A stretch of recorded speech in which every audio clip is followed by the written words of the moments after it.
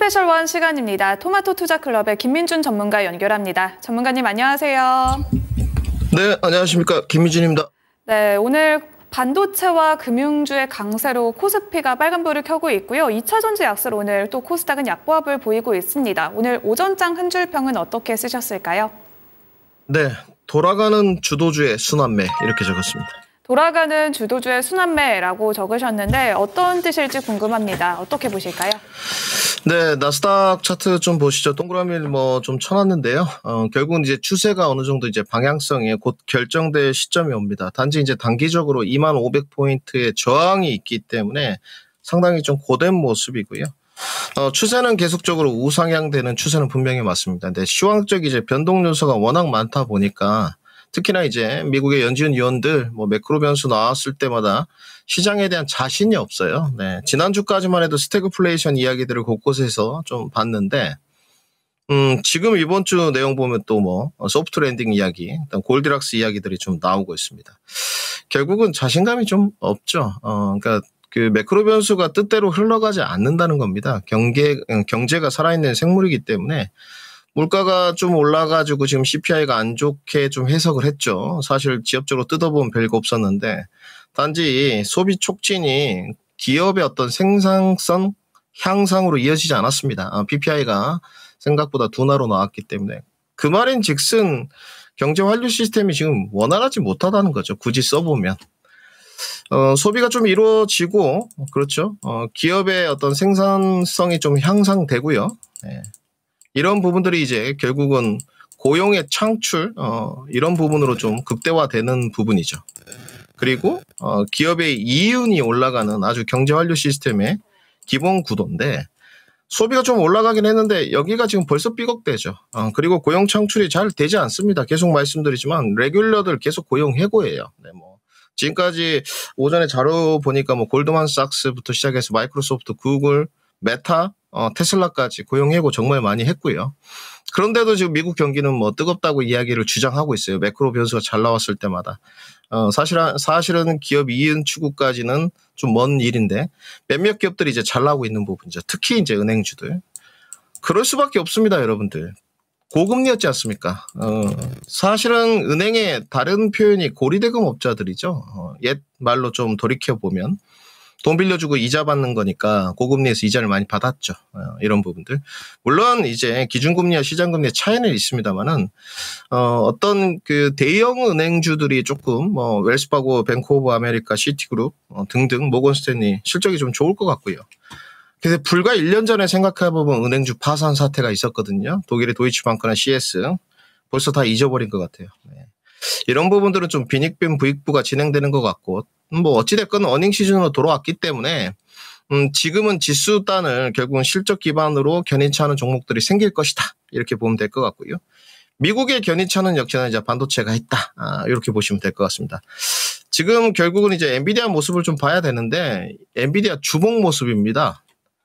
134불입니다, 여러분들. 7.9% 올랐고요. 늘 말하지만 반도체 업황에 대한 우려는 사실은 음모론 같은 겁니다. 지금 현재로서는. 예, 기술력 부분에 대한 우려, 뭐 삼성전자의 어떤 기업으로 봤을 때는 해당 사항이 있지만 AI 펀더멘털에 대한 것은 문제가 없다는 게 반증되고 있고요. 추세선 지금 돌파한 모습입니다. 여기서 이제 눌림목하고 엔비디아는 미국 주식 하시는 분들 120불 지지력 테스트를 확인해야 되겠죠. 네. 그리고 다시 이제 선물로 넘어와서 음, 오늘 2만 500포인트 돌파 여부가 상당히 중요합니다. 어, 고점 상단이기 때문에 밀어줄 때 밀어줘야 됩니다. 그래야지만 2만 500포인트 넘어가야지 다시 2만 1000 신고가 갱신 도전을 할 수 있고 만약에 눌러준다면 지금은 핵심 지지사항은 19,500이 되겠죠 여러분들. 네, 19,500포인트가 지지력 테스트의 마지노선이지 않을까. 오늘 중국 쪽이나 홍콩 쪽 뭐 경기 부양책에 대해서 하, 실망스럽다 뭐 이야기들이 있는데 사실 이 부분도 코에 붙이면 코걸입니다. 네. 지금까지 이렇게 유동성 공급, LPR, MLF, 지준율까지 나왔을 때는 환호했다가 세부 정책에 대해서 어, 입맛에 안 맞으니까 게안 좋다. 결국은 지수를 좀 부여잡기 위한 명분이라고 좀 보여지고요. 그래도 오늘 나쁘지 않게 흘러가는 구도입니다. 결국은 이제 그 매크로나 어, 대외 변수들은 계속 흔들릴 수 있어요. 그래서 최근에는 계속 강조드립니다. 좀 기술적으로 보십시오. 어, 특히 이제 매매하시는 트레이더 분들은 어, 뭐 일주일 매매하시는 분, 또 주 단위 2, 3주 하시는 분, 월 단위 하시는 분 각각 틀릴 거고 스케일핑 하시는 분들 있을 텐데 정답은 없습니다만은 지금은 좀 기술적 접근이 맞지 않겠냐. 아, 이렇게 정리를 해드리고요.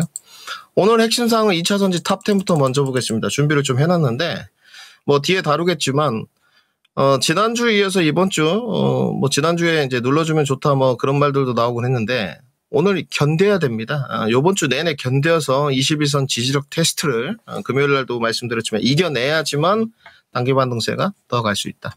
아, 구체적으로 이따가, 어, 2차 전지 바, 다룰 때 좀 설명드리고, 그 다음에 이제 코스피 지수입니다. 설명을 다 드렸죠. 2600선 어, 안착이 가장 중요하고 실제 그렇게 리딩도 하고 있고요. 우리 구독자분들도 마찬가지입니다. 시청자분들도. 2600선이 지금 밑으로 내려가게 되면 다음 라인이 지금 2550선, 그 밑에가 2500선이지 않습니까? 계속 지금 이 형태는 2650선까지 박스권이에요. 이렇게 4단계.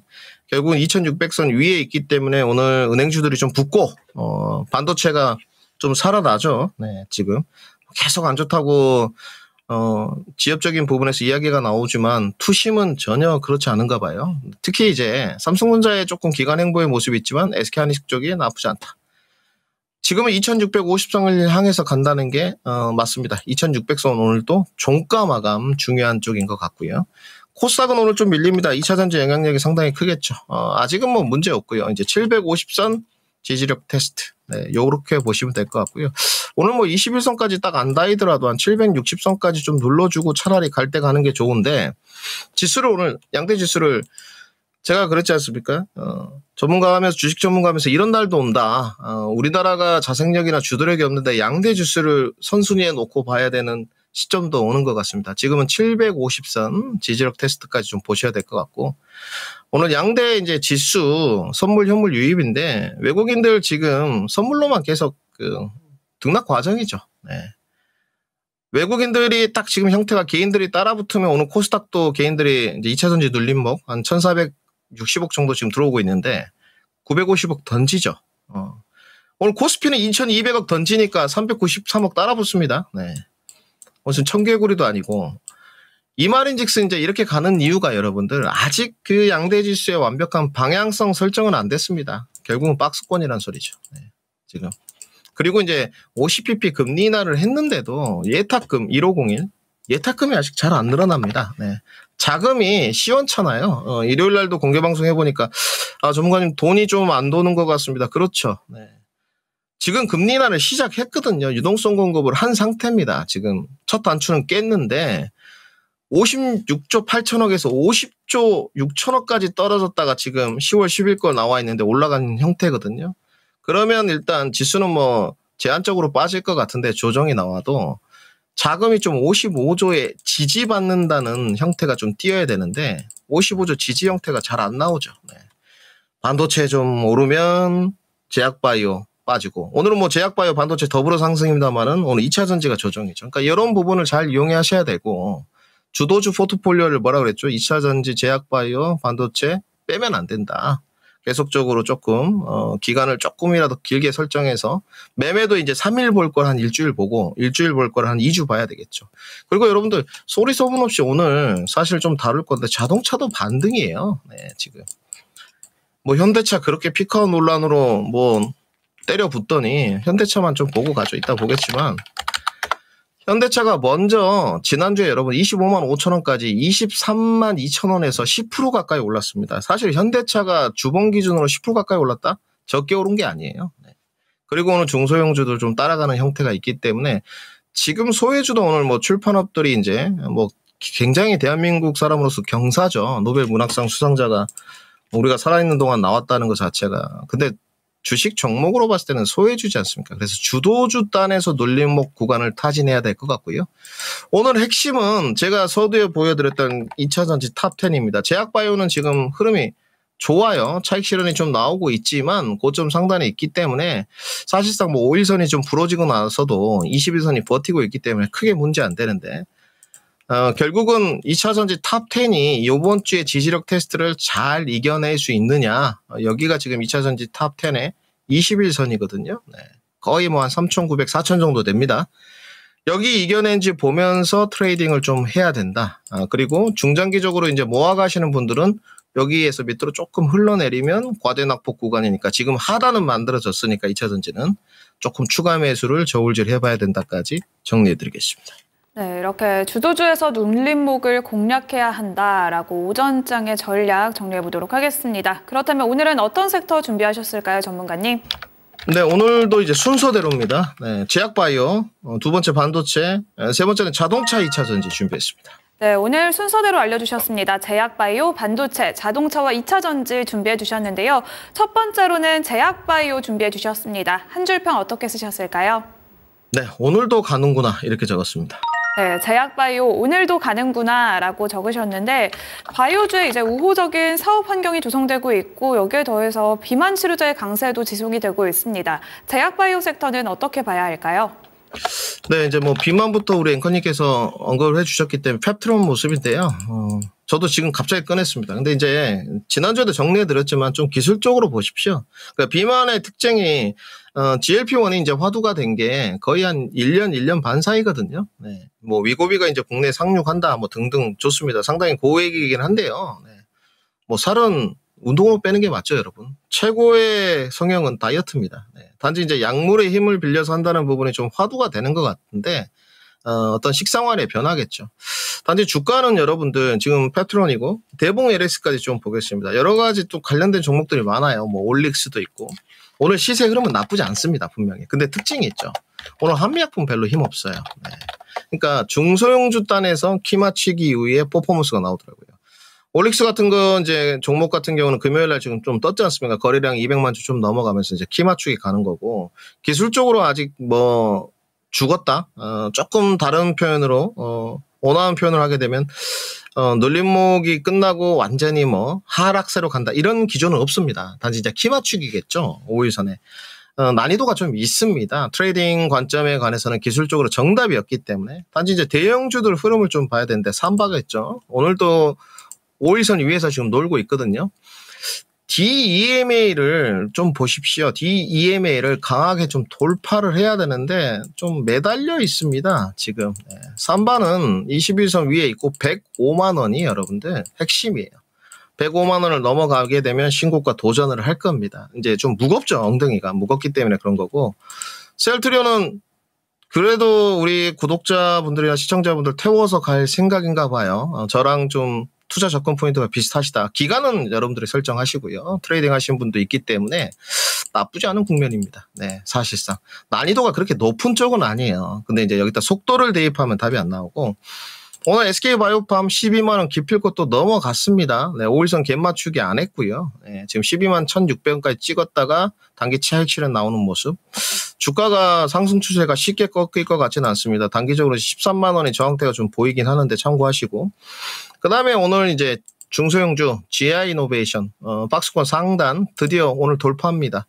제가 이거를 이제 9월 6일 날그 추천을 좀 해봤는데 강연 방송 때 오늘 15,400원까지 찍었는데 이렇게 되면 여러분들 추세가 쉽게 이것도 가라앉지 않을 겁니다. 그리고 이제 에이프릴 바이오 정말 많이 뛰었죠. 눌림목 가면 갱신하고 눌림목 가면 갱신하고 이번에 이거는 좀 조심하시는 게 좋을 것 같아요. 시세 분출 부분이 조금 약합니다. 어, 고점 갱신할 때 거래량이 좀 동반돼야 되는데 요거는 좀 조심하시는 게 좋고 그 다음에 이제 여러분들이 기다리는 게 오늘 한올이겠죠. 어.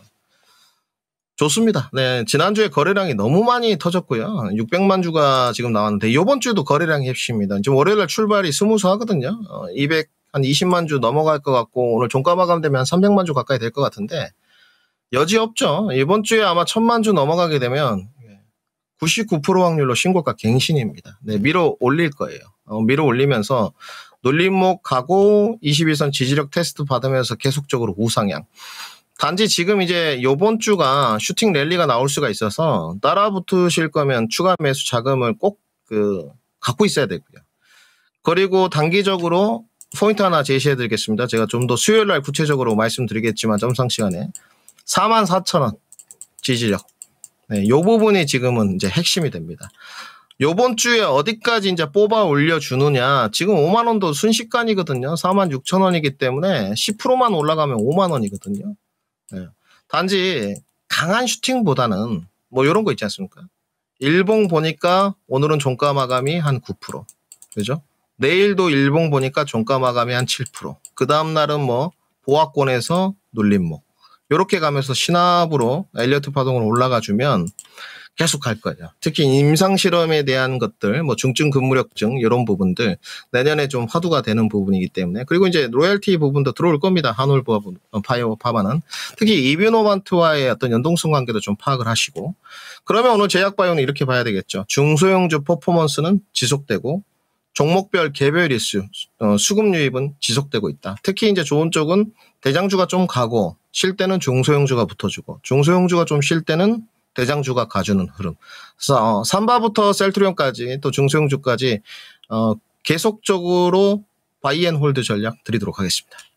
네, 이렇게 대장주부터 중소형주까지 전략 체크해 봤습니다. 두 번째로는 반도체 섹터 준비해 주셨는데요. 반도체는 한 줄 평 어떻게 쓰셨을까요?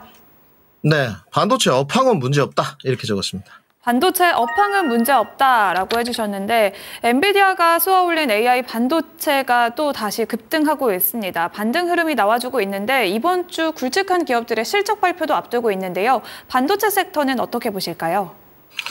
네, 이제 마테 마이크론 테크놀로지가 호실적을 쓰면서 그때 이제 높이 갔지 않습니까? 지금 나가는 차트 모습은 마이크로소프트 쪽인데 뭐이 이 부분은 조금 약할 수 있어요. 어, 소프트웨어는. 근데 이제 마이크론 테크놀로지 이제 HBM 쪽인데 뭐 지지 저항대가 상당히 조금 난잡하죠. 어, 깔끔하게 차트 모습만 보게 되면 사실상 지금 마테도 나쁘지가 않거든요, 여러분. 106.9불인데 뭐 아직 그 뭐 추세를 완벽하게 안착시키진 못했습니다. 네.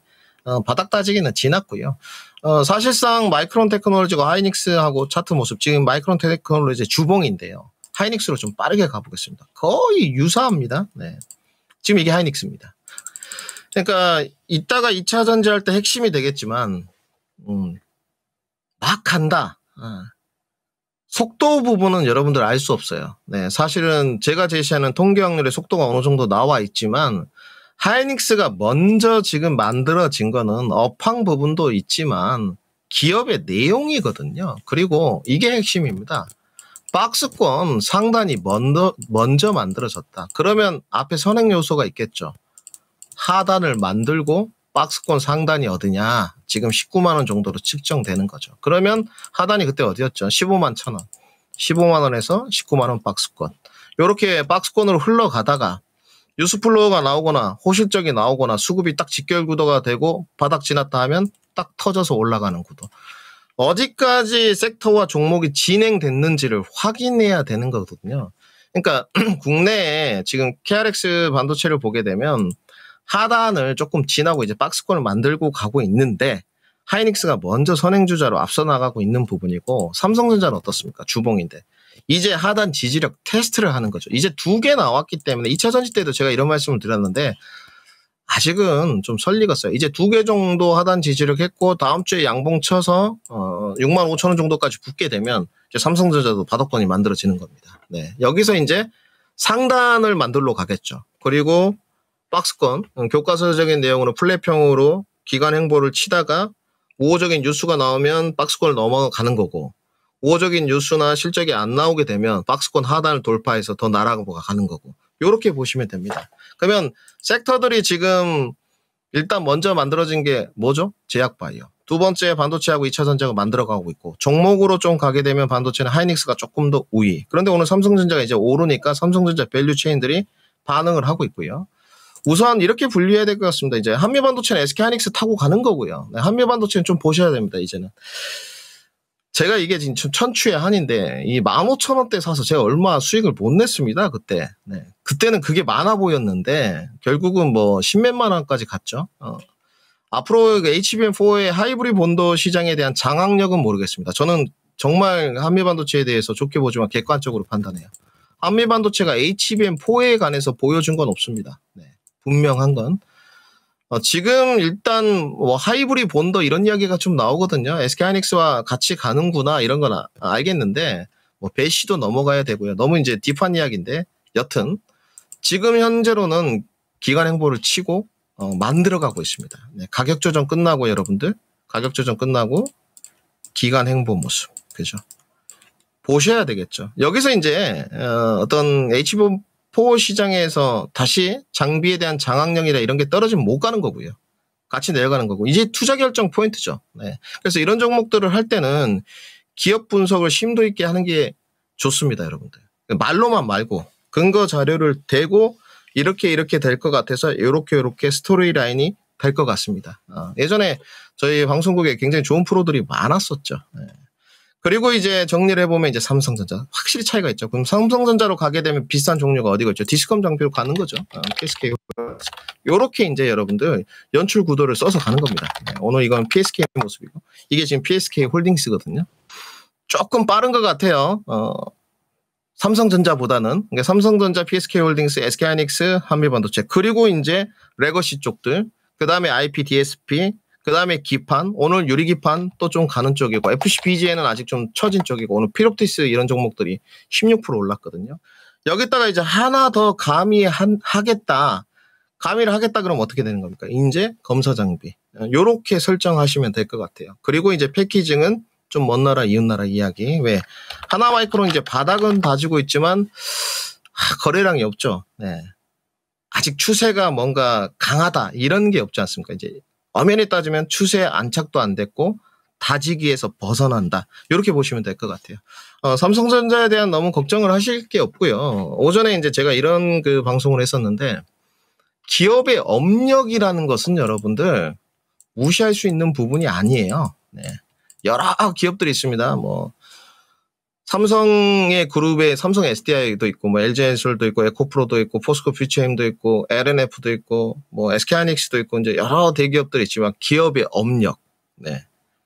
결국은 조금 더 어디가 안정감이 있을 것이냐는 생각해 보셔야 할 문제예요. 어, 여기에 따라서 이제 value chain과 어, 섹터의 어떤 연동 관계, 그 다음에 뭐 공급처, 어, 수주 발주 요런 거에 따라서 공략을 해나가는 것은 다른 문제입니다. 그렇기 때문에 오늘 뭐 엔비디아 이제 블랙웰도 좀 봤지만 1년치 다 매진됐답니다, 여러분들. 반도체 업황에 특히 AI 쪽에서는 문제가 없지 않나. 단지, 전통 DRAM, NAND, legacy 쪽에서는 조금 더 경기 회복이 돼야 되지 않겠냐? 이렇게 정리해 드리겠습니다. 네, 이렇게 반도체 설명까지 함께 들어봤습니다. 마지막 섹터로는 자동차와 2차 전지 섹터 준비해 주셨는데요. 한 줄 평 어떻게 쓰셨을까요? 네, 기술적 대응 및 접근 기간이 핵심 이렇게 적었습니다. 기술적 대응 및 접근 기간이 핵심이다라고 적으셨는데 자동차 오늘도 반등이다라고 오전장 한 줄평에서 언급을 해주셨습니다. 또한 2차 전지주는 오늘 테슬라의 급락으로 인해서 약세 흐름을 보여주고 있는데요. 자동차와 2차 전지 섹터는 어떻게 보실까요? 이제 그 추세는 제약바이오가 1순위라고 이미 정리를 해드렸고요. 개인의 이제 관심도는 2차 전지가 저희가 좀 높은 편이죠. 어, 단지 이제 테슬라로 좀 갔을 때 지난주에 이 그림을 제가 이제 방송 돌려보시면 나와 있을 텐데 좀 지워드리겠습니다. 오늘 여기 까만색 갈색 선 있죠, 여러분들. 여기 지지력 테스트예요. 어, 여러분들이 이제 이동 평균선이 저랑 설정이 똑같을수는 모르겠지만 전 테슬라는 지금 단순히 평으로 해놨습니다. 이 부분은 중요해요, 여러분들. 단순히 평, 저는 단순히 평하고 지수이 평만 쓰는 편입니다. 참고하시고. 단지 지금 테슬라에 보게 되면 217불이지 않습니까? 여기 지지력 테스트예요. 네. 그러니까 별거 없습니다. 네, 지난번에도 말씀드렸지만 바로 270불 가느냐? 한번 눌러줬다 가느냐? 모양새가 그렇게 막 걱정할 정도의 위치 상단이 아닙니다. 네, 그렇죠. 뭐 이제 테슬라의 어떤 로보택시에 대한 실망감이나 등등 테슬라에 대한 실망감이 나오면 2차 전지를 정리할 건가요? 그렇지 않지 않습니까? 어. 구조적으로 성장해 가는데 이럴 때는 또 커플링 관계가 좀 싫을 뿐이죠. 그러면 하단 지지력을 어디서 받고 다시 한번 반등세를 써가느냐 이런 문제고 그게 2차 전지로 넘어왔을 때 핵심이 되죠. 우선 자동차부터 정리를 해드리면 차는 잘 팔려야 2차 전지가 잘 나가고요. 논리의 비약입니다. 네. 전방 산업이 차가 안 팔리는데 배터리가 어떻게 팔립니까? 네, 그런 주장은 사실은 기담아 들을 필요도 없어요. 너무 억지스럽기 때문에 어, 현대차는 계속적으로 잘 나갈 거라고 저는 생각을 하고 있고요. 네. 그리고 이제 중소형 종목들이 아침에 좀 슈팅이 나왔었습니다. 화신이라든지. 그리고 자리적으로 이제 SL 이런 건 좋아 보이고, 어, 내연기관 요 정도 정리하고요. 어, 뭐 자동차 부품이라는 표현이 맞을 것 같습니다. 그 다음에 2차 전지대. SDI, 에코프로 BM, 뭐 SDI는 저희 공식적으로 갖고 있고, LNF인데, 지금 피보나치 되돌리는 보게 되면 다 여기가 높게 나와요. 네, 여러분들.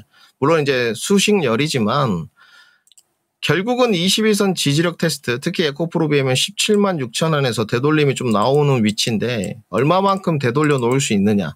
여기를 버티느냐 못 버티느냐 이게 단기적인 여러분들 관점의 대응력입니다. 중장기적으로는 문제가 없어요. 왜냐하면 여기서 눌림목을 이겨내고 여러분들 조금 더 올라가면 박스권 상단이 19만 원이 아니고 20만 원에서 21만 원대 만들어질 공산이 높습니다. 네. 단지 여기서 더 떨어지면요. 16만 원까지 다시 이제 테스트를 가게 되면 박스권 상단은 19만 원 언저리가 되는 거죠.